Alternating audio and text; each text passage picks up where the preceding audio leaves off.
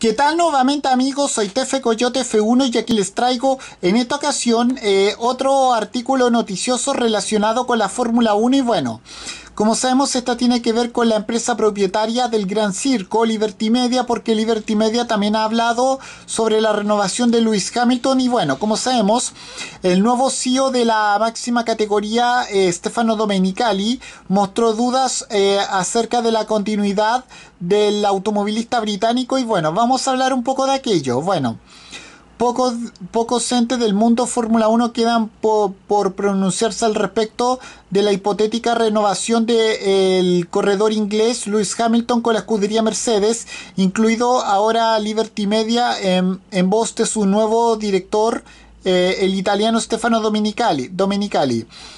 Eh, si bien eh, Bernie Eccleston no dudaba en tomar partido en este tipo de negociaciones, exponiendo tanto de manera pública como directamente a las partes que están interesadas, que era lo que, era lo mejor para ellos, como no podía ser de otro, de otro modo, coincidiría en ser también lo mejor para Eccleston y su negocio. Liberty Media, por su parte, eh, eh, ha venido adoptando un, un, rol mucho más pasivo.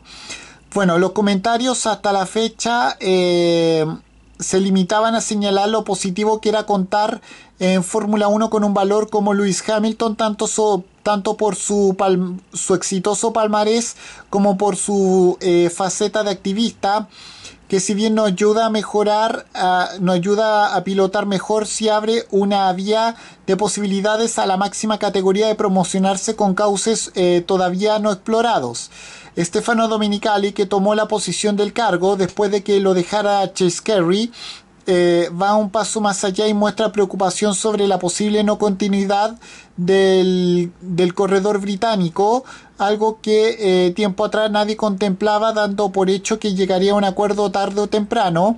Y es que eh, ya comenzó la nueva, el nuevo año 2021, las relaciones laborales entre entre Lewis Hamilton y la escudería Mercedes llegaron a su fin siendo técnicamente el corredor británico en estos momentos ex piloto Fórmula 1. Bueno, esto fue lo que dijo en una entrevista eh, hecha para el medio Sky Sport Stefano Domenicali.